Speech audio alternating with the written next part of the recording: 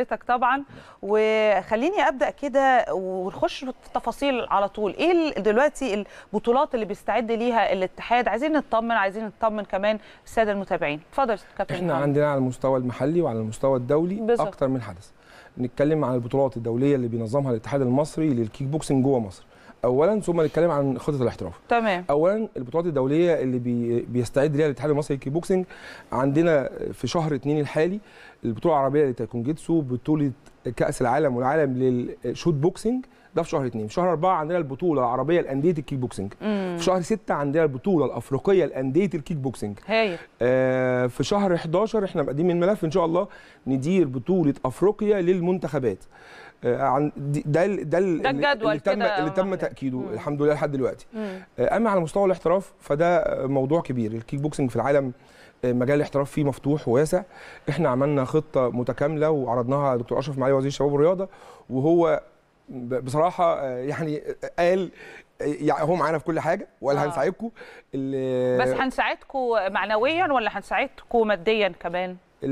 يعني أنا بحب المعنوي جدا بيسعدني آه. بس المادي بيسعدنا أكتر. بصي عايز أقول بنبقى محتاجينه يعني. كلام رائع. عايز أقول لحضرتك إن إحنا آه، من من سنين قريبة. من ثلاث أربع سنين وإحنا بنيجي عندكم هنا وإحنا بنأسس الاتحاد ما كانش عندنا كيان ما كانش فيه كيان ما كانش فيه دعم وقتها أصلا يعني بكل الأشكال فصناعة الكيان بالنسبة لنا دي, دي البداية بس اللي أنا بطمن بيه كل ولاد الكيك بوكسنج إن آه، معالي وزير الشباب والرياضة آه، يعني قال دعم الكامل لاتحاد الكيك بوكسنج باعتباره من الاتحادات اللي نشأت وخدت مساحتها في ونجحت. الساحة.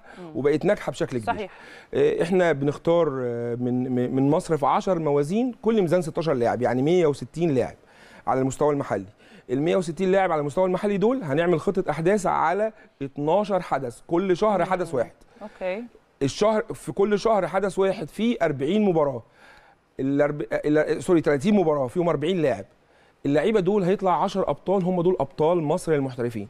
اللعيبة دي اللي هنعمل بيهم في السنة التالية خطة نشاط دولية فيها 16 لاعب من العالم في كل وزن. في مكافآت مالية فيها. للاعبين الفايزين على المستوى المحلي واللاعبين الفايزين على مستوى العالم. هيبقى في حدث دولي ثابت في مصر كل شهر على مجال الاحتراف. ده غير الهواية. هنا ال- النقطة عايزين نوضح إيه الفرق بين الهواية والاحتراف. الهواية ال- ده الطريق الطبيعي اللي اللعيب بيلعبه بطولة القاهرة الجمهورية لاعب منتخب مصر بكل معدات ال- الهواية. اللي هي بيلبس فيها جميع جميع أدوات الحماية الهيت جارد. الماوس جارد الجلافز الشين جارد كل أدوات الحماية. أما ال- الاحتراف التصور اللي حضرتك شايفاه دوت بيبقى أدوات الحماية فيه يعني ما فيش أدوات حماية هو ما فيش هيت جارد بيبقى اللعب فيه هنا احترافي المفروض إن اللاعب هنا يحترف الرياضة دي. هو الاثنين مصريين؟ الاثنين مصريين آه. آه. ده ده نموذج بدأنا نشتغل عليه الفترة الجاية اللي بن- اللي بنجهز له عشان نشتغله على مستوى العالم. يبقى هنا في العالم في استثمارات كبيرة في مجال الاحتراف. الكلام ده متطور جدا في هولندا ومتطور جدا في تايلاند.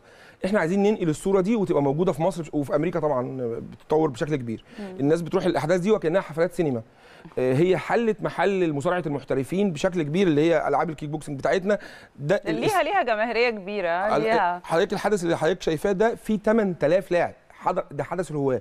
8000 لاعب مع ولي أمر أب وأم حضر الحدث 24000 شخص جاي بيتفرج على حدث الهواة. الاحتراف بقى شكل أكثر تميزا ملعب واحد light system sound system شكل عام كويس. يعني كل ده على مستوى الهوايه إحنا بنتكلم. ممكن منه بيتم كمان اختيار البعض ليه بعد كده تدريبهم ويصبحوا بيلعبوا باحترافية يعني أو بشكل احترافي؟ المنافسة الكبيرة دي بتطلع لي بطل مصر الهواة اللي بيخش تجارب اللي بيخش المنتخب القومي المصري بتطلع لي واحد. بس يعني من الأعداد دي بتطلع لي بطل واحد ولا في كذا بطل لا في كل وتصفيات في كل وزن واحد في كل وزن واحد بس و- مش مش ممكن يبقى في فرصة أكبر لو. اديت أكتر من وزن يعني في كل وزن أكتر من لاعب هقول لحضرتك الطريق الطبيعي للهواة بطل مصر للهواة هو مين؟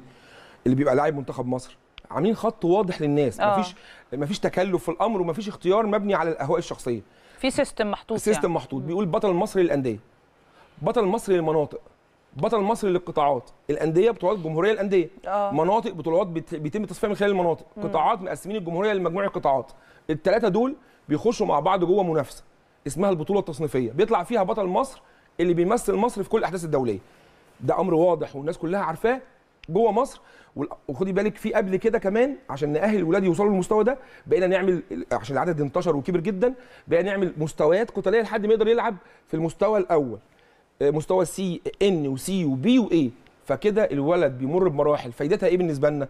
إن ما بقاش لما أجيب ابنك يلعب رياضة ما بقاش في خطورة عليه لاعب بطل اللي بقى له كام سنة. لا آه. بيلاعب واحد قده بقى له ست أشهر زيه فاهم. بقى له سنة نفس زيه المستوى بقى له يعني. سنتين زيه المستوى متكافئ.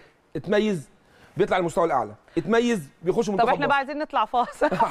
سريعا جدا. وهنرجع نكمل حديثنا مع كابتن محمد سبيح